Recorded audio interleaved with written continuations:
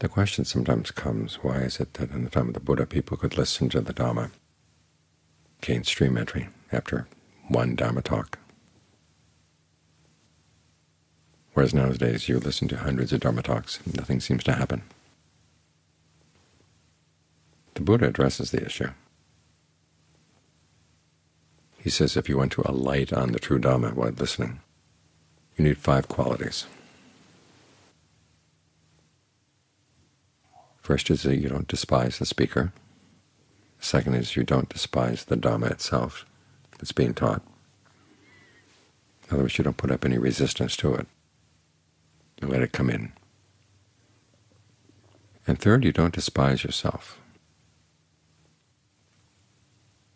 In other words, you don't tell yourself, this Dhamma is way beyond me. There's no way I can take it in. There's no way it's really talking about anything going on in my mind right now. As Buddha said, the whole point of the Dhamma is that it points. That's what the word desana means in Pali. The word we use for Dhamma talk actually means pointing to the Dhamma. And it's pointing into your mind, that's where the real Dhamma lies. The words outside are not the true Dhamma. The true Dhamma is what's developing in your mind. And have some confidence that when the Buddha is talking about the five aggregates, he's talking about things you know. When he talks about the four bases for success, the things you know, these are qualities you have had to at least some extent, and you can build on them now. The fourth quality is that you are single-minded. The word ekaggha Sometimes it's translated as one-pointed. Eka means one, but agga doesn't necessarily mean point. It can also mean gathering place. So you gather your whole mind around one topic, whatever is being taught, and you don't wander off. And then you practice appropriate attention. That's where you take what you've been listening to and ask yourself, how does this apply to the question of suffering. Is Buddha talking about suffering itself, or is he talking about the cause of suffering, or the path? And how does this apply to me? What am I doing right now? That is suffering. What am I doing that's causing suffering? What could I be doing? What could I change? So instead of causing suffering, I'm leading away from suffering. So you're focused but questioning at the same time. The questioning is directed by what you're learning. You have the confidence that what you're learning really is giving you information that you need or that you can benefit from. So as you look inside, you see things you may not have seen before. This is one of the reasons why we listen to the Dhamma. It's like the vocabulary of tasters. Part of their education is not just smelling a lot of smells and tasting a lot of tastes. It's also learning a precise vocabulary to describe them. And as you see that there is such a thing as a precise vocabulary, you begin to notice tastes you didn't taste before you tasted them but you didn't notice them.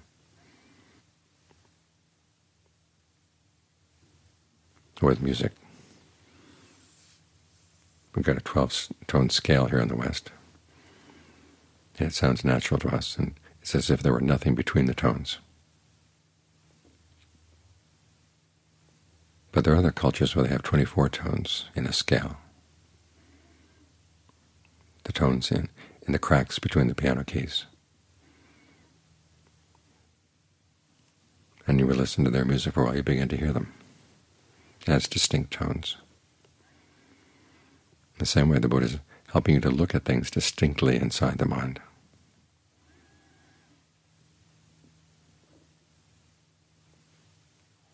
To notice skillful events, unskillful events that are happening. And once you notice they're skillful or unskillful, then you know what to do.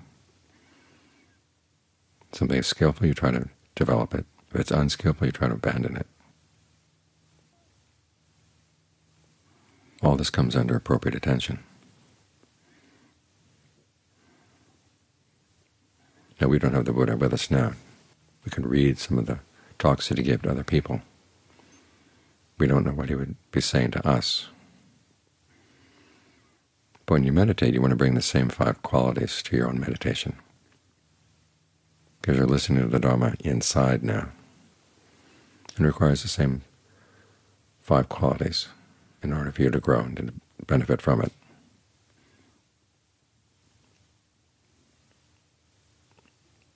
You don't despise who's speaking inside. But you do have to train the voices. This is why the Buddha said that the first step of right concentration is includes directed thought and evaluation. It's not like you haven't been doing direct thought and evaluation, suddenly you have to do it. You've been doing it all along. He said that's the basis for all speech. What we're trying to do is direct that in the right direction talk about things that are actually helpful. Learn how to evaluate what's going on. Say with the breath. How does the breath feel right now? What kind of breathing would feel best? If you don't know, try things out. Have something you can compare. Try longer breathing for a while, then try shorter breathing. Compare the two.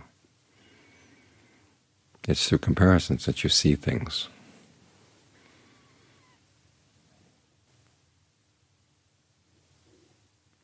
I have a book of photography where the photographer has two pictures for every scene, the larger one, which he said is the better picture, and then a smaller one, which is similar but not quite the same. And explains why he chose the larger one. And looking at the two photos, you really do learn about color, warmth, composition, and you learn lessons you wouldn't have learned otherwise. So it's the same here. Talk to yourself about the breath and try some different ways of breathing. Learn how to observe. This way you train that speaker inside. So it becomes more and more reliable. And you're less likely to trash what observations you've made.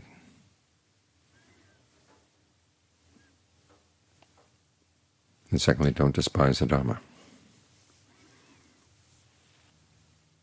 The Buddha was very careful to phrase, things well. This is why we say Svakkhato Bhagavata Dhammo, the Dharma well taught by the Blessed One. He really did teach it well, phrased it rightly, presented it rightly. So take what we've got and apply it to yourself. The Forest tradition, they call that the principle of practicing the Dharma in accordance with the Dharma.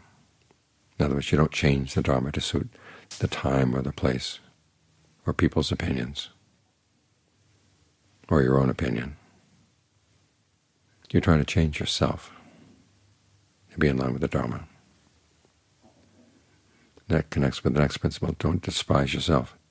Remind yourself you can do this. As the Buddha said, if people couldn't practice the Dharma, he wouldn't have taught it if you couldn't stop doing unskillful actions, thoughts, words, deeds. You couldn't start doing skillful ones in their place. There would have been no purpose in teaching, but, but this is something human beings can do.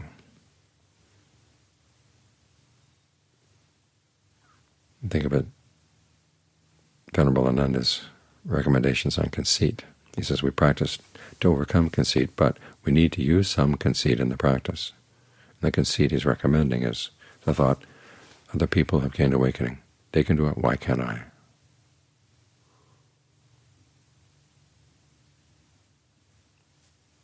When you have this confidence in yourself, this confidence in the Dhamma,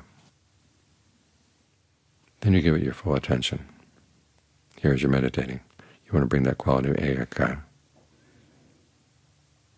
singleness, to bear on what you're doing right now. Because after all, that's the definition of concentration. Chitta Ekaggata, singleness of mind, singleness of heart. Singleness of mind in the sense that your focus is right here on one thing. You're with the breath. And the breath fills your awareness. That's another way in which it's single. Singleness of heart in which you try to do this as well as you can. You feel inspired by doing this.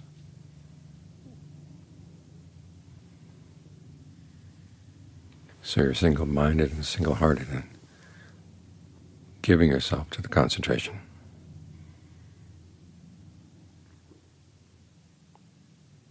Giving your full attention. And then you apply appropriate attention. You start asking the right questions. The Buddha defines appropriate attention in two different contexts. One, it's in terms of mundane right view, or one level of categorical teaching, which is that skillful qualities should be developed and unskillful ones should be abandoned. Another, it's in the, defined in terms of the Four Noble Truths and their duties. You try to comprehend suffering, abandon its cause, realize its cessation. You do that by developing the path. You bring those questions to the mind. You're just sitting here meditating and the mind settles down. Don't question it too quickly. But once you've really settled down and gotten a sense of really solidly being here, with a real sense of singleness, then you can ask yourself, is there still some disturbance here? In particular, not the disturbances outside. What disturbances come from within the mind? Causing the disturbance? Can I stop doing it?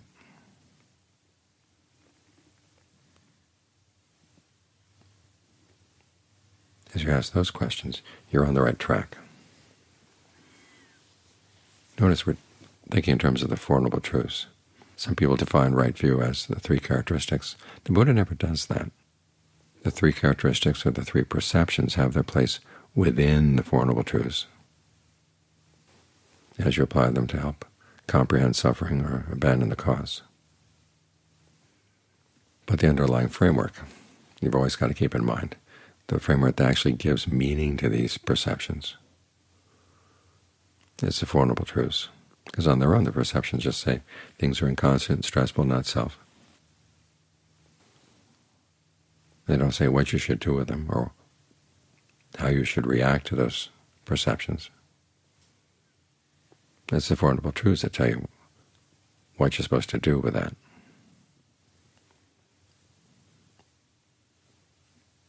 The other day we were talking about emptiness, saying that there are two kinds. There's the emptiness of as a concentration perception, where you perceive the mind as being less and less disturbed, and you appreciate the emptiness of disturbance. And then the second kind of emptiness we're seeing that the senses and their objects are empty of self. The question sometimes comes up, which is more basic? And people tend to gravitate toward the second one, emptiness as an attribute of things. But I think the Buddha would have said the other way around. Because again, emptiness, seeing that things are empty, what does that tell you? You could react in lots of ways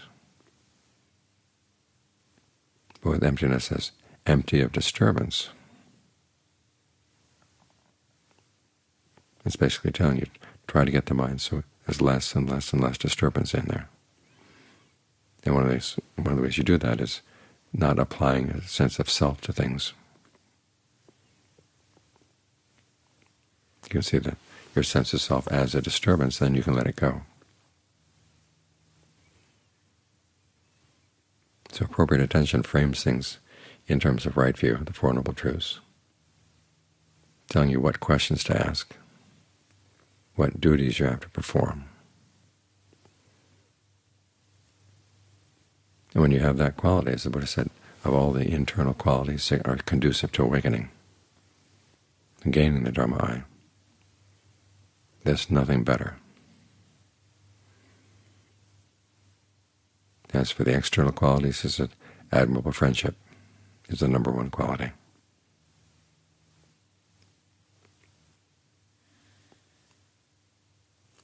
So find friends that you admire. Listen to their Dhamma.